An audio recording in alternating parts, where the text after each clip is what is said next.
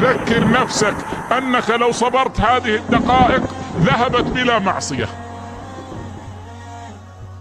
وأنك إذا فعلت هذه المعصية ذهبت بالمعصية وأورثتك فسادا في قلبك.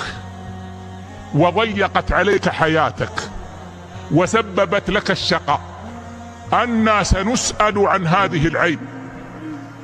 بين يدي الله سبحانه وتعالى أن نعلم أن العين نعمة من الله. من أعظم نعم الله علينا. نعمة متكررة في كل ثانية. فينبغي أن نستعملها في طاعة الله. وأن لا نستعملها في معصية الله.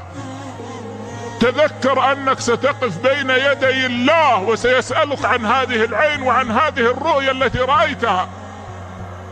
ما منكم من أحد إلا سيكلمه ربه. أن العين ستشهد عليك بما رأت بين يدي الله سبحانه وتعالى.